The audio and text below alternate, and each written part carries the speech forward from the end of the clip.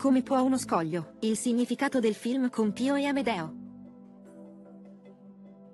Come può uno scoglio è il film con i due noti comici pugliesi Pio e Amedeo, che sta riscuotendo molto successo al cinema. Al centro delle trame c'è Pio, un bravo ragazzo impacciato ed ingenuo che, dopo la morte del padre, viene candidato come sindaco dagli imprenditori locali. Il motivo della sua elezione è legato proprio all'ingenuità del ragazzo, che gli imprenditori pensano di poter raggirare in tutti i modi ottenendo quindi favori personali. La situazione cambia radicalmente nel momento in cui Pio decide di fare un favore al parroco del paese, assumendo Amedeo a lavorare con lui.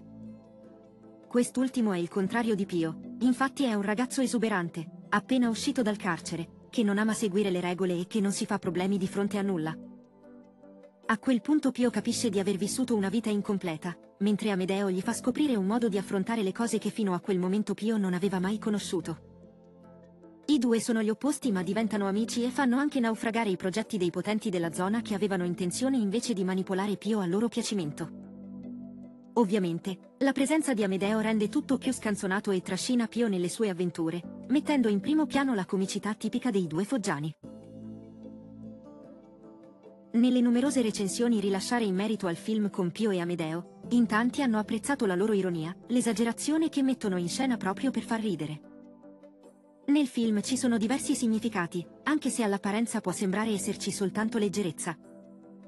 Viene criticato indirettamente il populismo dei politici, ma anche il sistema di favori che esiste in Italia, come quello che Pio fa al parroco o come quelli che gli imprenditori pretendono dal nuovo sindaco.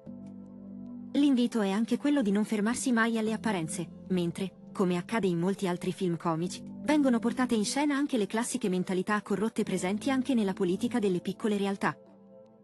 In tanti hanno notato anche l'accurata scelta delle colonne sonore, non le classiche che ci si aspetterebbe per un film del genere. Infatti ad esempio sul finale è stata scelta Campo Minato di Ariete e Tananai. Un film, quindi, unico nel suo genere sotto diversi punti di vista, che mette al centro la comicità tipica di Pio e Amedeo. Al momento si tratta di un film di grande successo che ha messo d'accordo anche i loro detrattori. Voi che cosa ne pensate?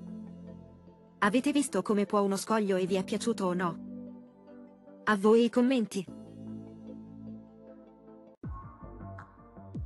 Se il video ti è piaciuto, metti mi piace, e iscriviti al canale, per ricevere gli aggiornamenti.